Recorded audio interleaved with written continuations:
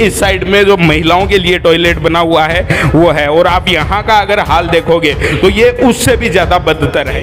कि आ रहे मेरा संपम पाठ, मत न चाटू तू मन चाट वो हाल झुंझुनू का हो रहा है, नेता और अधिकारी मिलके लूटने में लगे हुए हैं। कोई बोलने वाला है जिसमें दारू के पव्वे डाले हुए हैं, ढक्कन दारू के पव्वे। और लोगों ने पान खा खा के नमस्कार दोस्तों, मैं विक्रम, आप देख रहे हैं रंगीलो झुंझुनू। अभी मौजूद हूँ झुंझुनू के बस स्टैंड पे, जो प्राइवेट बस स्टैंड है, जहाँ से ग्रामीण एरिया से लोग आते हैं शहर में और यहीं से बसों में बैठकर अपने गाँव की तरफ़ वापस लौट जाते हैं। और जिस जगह मैं खड़ा हूँ प्राइवेट बस स्टैंड पर तो यहाँ रोज़ हज़ारों की संख्या में लोगों की आवाज़ आई रहती है। अब लोग आएँगे तो उन्हें हर तरीके की चीज़ों की भी ज़रूरत पड़ेगी। उसके साथ ही मैं आपको बता दूँ कि उन्हें अगर टॉयलेट जैसी सुविधा की ज़रूरी पड़ेगी तो उसके लिए शौचालय यहाँ बना हुआ हुआ है। लेकिन इस शौचालय को मैं आपको दिखाऊँ, उससे पहले मैं आपको एक बात बता देना चाहता हूँ कि झुंझुनू नगर परिषद सवत्सा सर्वेक्षण में पूरे प्रदेश भर में निचले पायदान पर है, नीचे से दूसरे नंबर पर, जो सर्वेक्षण अभी कुछ दिनों पहले ही हुआ है।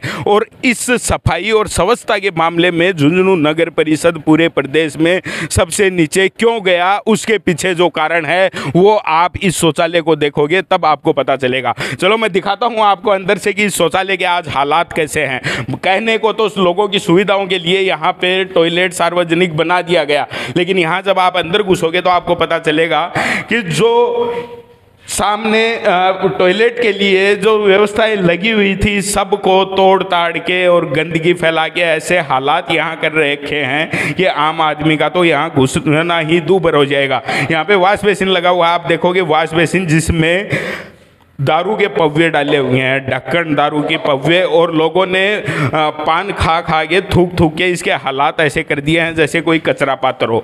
पूरे ही, पूरे इस शौचालय के हालात ऐसे हैं। यहाँ आप देखोगे कि एक ये हॉल है, बीच में जो बना हुआ है, यहाँ पे जो आप स्थिति देखोगे कि ये क्या हाल यहाँ का बना रखा है। आपको किसी भी एंगल से अगर ये लग रहा हो कि ये एक सार्वजनिक शौचालय है, जिसे कोई यूज़ कर सकता है तो आप कमेंट करके ज़रूर बताइए। ऐसे जो हालात हैं, ये इस साइड में जो महिलाओं के लिए टॉयलेट बना हुआ है, वो है। और आप यहाँ का अगर हाल देखोगे तो ये उससे भी ज़्यादा बदतर है। ये जो टॉयलेट बने हुए हैं, उनके हालात देखे नहीं जा रहे। और इतनी बदबू का माहौल यहाँ है कि आप समझ पाओगे कि यहाँ अगर कोई ने यूज़ करने के लिए अंदर घुस जाए तो उसके हालात कैसे हो जाएँगे।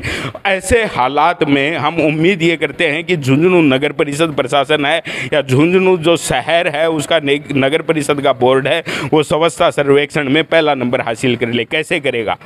और ये सब हो क्यों रहा है? क्योंकि नेता और अधिकारी दोनों आपस में मिल के इस पूरे ज़िले भर की जनता को लूटने में लगे हुए हैं। ये जो हमारे बड़े बुज़ुर्ग कहा करते थे कि आ रहे मेरा संपम पाठ, मत न चाटू तू मन चाट वो हाल झुंझुनू का हो रहा है, नेता और अधिकारी मिल के लूटने में लगे हुए हैं, कोई बोलने वाला है नहीं। और हालात यहाँ है, अभी हमने थोड़ी देर पहले देखा कि जो दीवार है, टॉयलेट यूज़ करने के लिए, जहाँ बाहर लोग पेशाब करने के लिए मजबूर थे, उन्हें वहाँ जाना पड़ रहा है। यहाँ पे ये सुविधा होने के बाद जो शौचालय बना हुआ है, ये लोगों के टैक्स के पैसों से बना है। लोगों के पैसे जो है, मेहनत से जो कमाई है उससे जो टैक्स का पैसा देते हैं, उनसे ये सुविधाओं के लिए ये बनाया गया था।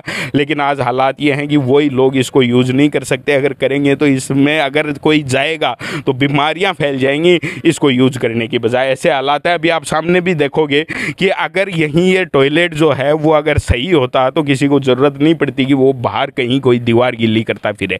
अब करेंगे नहीं तो जाएँ कहाँ? क्योंकि ये तो ऐसी चीज़ है कि आपको पेशाब अगर आपको लगी है तो करना ही पड़ेगा और यहाँ अगर सुविधा नहीं है तो बाहर कहीं ना कहीं झाड़ियाँ आपको ढूंढनी पड़ेंगी। ऐसे हालात झुंझुनू के हैं। अब समझ में नहीं आता कि आखिर नगर परिषद प्रशासन है और हमारे जो जनप्रतिनिधि हैं, वो किस बात पर एंठ में घूमते रहते हैं और जनता की सुनवाई क्यों नहीं करते? आप इस खबर के बारे में क्या सोचते हैं? कमेंट करके ज़रूर बताइए और साथ ही आपको बताता चलूँ कि ये सिर्फ़ यहाँ के हालात नहीं है। झुंझुनू के ऐसे बहुत से सार्वजनिक शौचालय हैं जिन पे ताला लगा पड़ा है, आप अगर वहाँ जाओगे तो आपको ताला दिखाई देगा, खुले ही नहीं है, ये कम से कम खुला तो है।